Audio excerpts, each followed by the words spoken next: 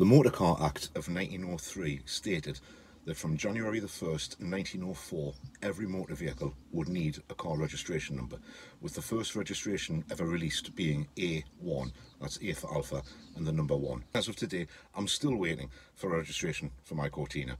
Now, the DVLA have been in contact. There's an appointment being arranged for a few days from now for them to come out and inspect the vehicle. Uh, they want to inspect it to make sure that their records are correct. So we'll just have to wait and see what happens when they get here to see uh, where we go from there. But hopefully, fingers crossed, it won't be too much longer before I get a registration and then I can look at getting this out on the road and enjoying some fun with it.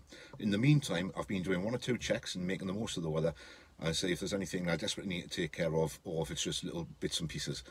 Now I'm resisting the urge to work on the car until DVLA have been out inspected it and the issue with the registration but I have been doing one or two checks. I've checked the coolant levels this morning and that's all up to where it should be.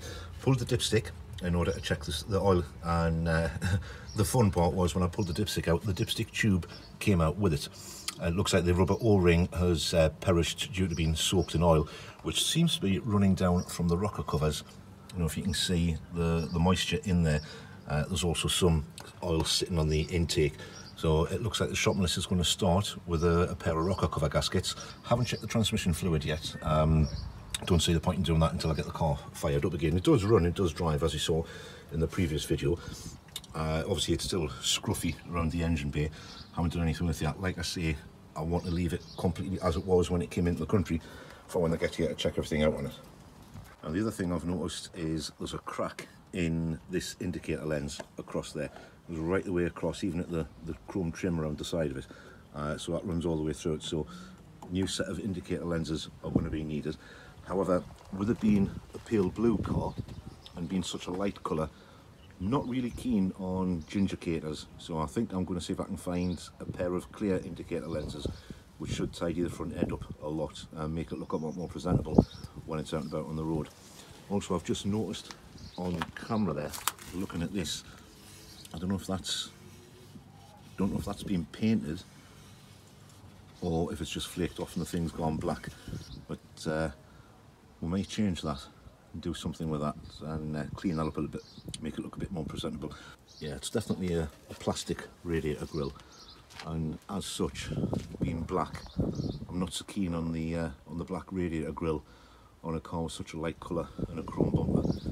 I think we might take that off and, uh, and get that sprayed silver just to uh, clean up a little bit, make it look a bit better the front end. I, I think on this particular car, being a light colour, the clear indicators and a silver radiator grille will clean it up and lift it a lot more at the front, make it look a lot better.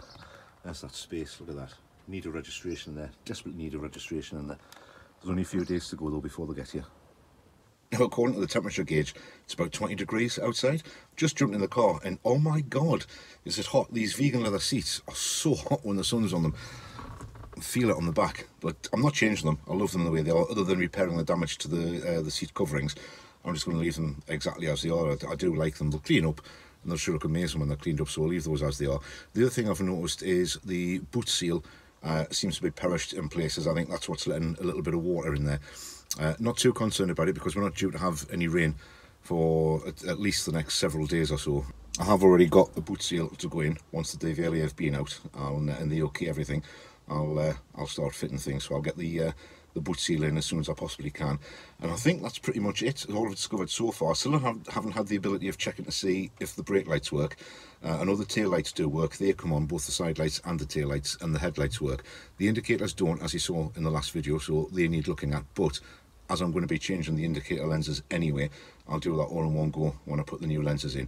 Other than that though, um, everything seems to be okay. I've, I have managed to source some tyres, haven't got them yet, but I've sourced some, some tyres to go on, so we're going to be okay with that. I'm leaving those wheels on, the uh, the TSW Omegas, they're staying on. I think they'll clean up really well, and also with them being a, a silver colour, they'll set off the um, the light colour of the car as well.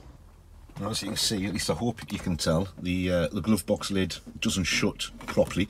Uh, something that needs working on, probably just needs a little bit of adjustment. And uh, most of all, there's no radio. Now, I don't really want to put a modern radio in. I don't want to go cutting these bits out and destroying the integrity of the uh, of the dashboard and the originality of the car. So I'm going to be on the lookout for a retro radio that has the uh, the two control knobs on either side that'll fit through there, get that done. And the other thing I was wondering about, obviously it's the, the gauges that are in here.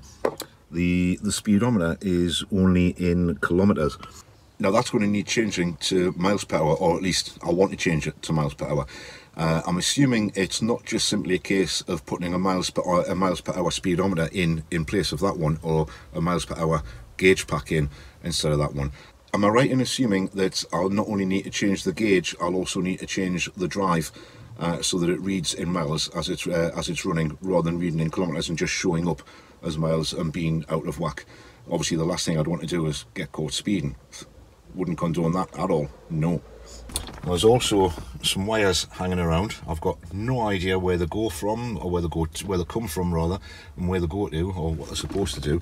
Uh, there's these, these ones here, and there's a brown one here that's unplugged, not connected to anything. There's a couple down here on the floor that are just bare-ended. Uh, that doesn't seem to go anywhere at all. And there's one hanging down under the dashboard there. Uh, so all manner of different things kicking about that's going to need investigated and traced back to see where they are. But these are all little something and nothing jobs that can be done at any given time. Uh, the main thing for me at the moment is getting it registered and getting it on the road so I can enjoy this lovely weather we seem to be having at the moment. And I found that as well. Uh, it looks like it should have a bulb in it of some sort. It's uh, not sure if it's an aftermarket thing or if it's uh, something that came from Ford when it was put in. It's not something I've seen before on any cars. So if you know what that is... Right, well that's going to be it for now guys. I just wanted to do a bit of an update, let you all know I hadn't forgotten about the Cortina. Still here, still waiting to get registered, still waiting to get worked on. Itching to get into it though, get it on the road and see if I can enjoy it for as much of this summer as I possibly can before I start doing any major work on it. Obviously needs fully rust proof and all the rust needs taken care of, but that's by the by. That's just normal pots and uh, normal stuff to do on a Cortina.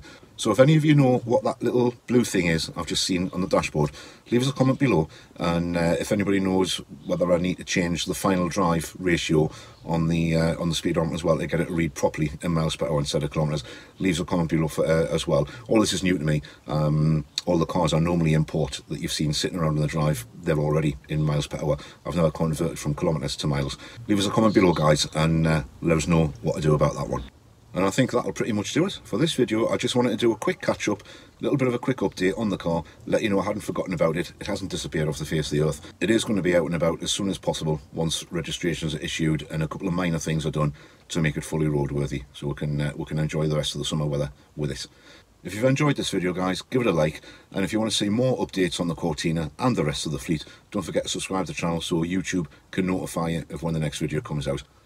I'll leave a link up here to the previous video on the Cortina when I revealed it so you can see the main walk around if you haven't watched that one as yet. Thanks for watching. Bye for now.